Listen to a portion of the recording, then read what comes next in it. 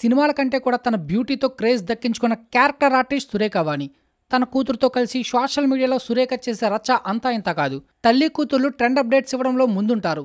తన భర్తను కోల్పోయిన తర్వాత సురేఖ వాణికి సోషల్ మీడియాలో క్రేజ్ అమాంతం పెరిగిపోయింది. నిత్యం ఆమెపై ఏదో ఒక గాసిప్ రావడం సహజమైపోయింది.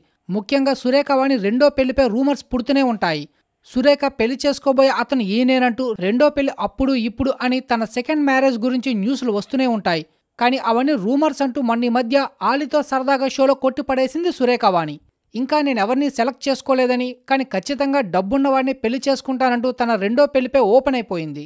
ఇక అప్పటి నుండి సురేఖ సెకండ్ మ్యారేజ్పై రూమర్స్ రావడం ఆగిపోయాయి. అయితే తాజాగా సురేఖ వాణి సీక్రెట్గా రెండో పెళ్ళి చేసుకుంటున్నట్లు సోషల్ మీడియాలో పుకార్లు షికార్లు చేస్తున్నాయి. రీసెంట్గా సురేఖ వాణి పెట్టిన ఒక పోస్ట్లో తాలిబొట్టుతో కనిపించింది. ఆ పోస్ట్ చూసిన నెటిజన్లంతా సురేఖ వాణి సీక్రెట్గా రెండో పెళ్ళి చేసుకుందా అనే అనుమానాలు వ్యక్తం చేస్తూ ఓ రేంజ్లో కామెంట్స్ వదులుతున్నారు.